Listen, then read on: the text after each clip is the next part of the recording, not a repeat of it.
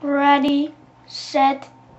En daar gaan ze. Max aan kop. Oh, viel er een. Nog een. Nog een. Echt ongelooflijk echt. Max nog steeds aan kop trouwens. Max wint. Wout tweede en de visser derde.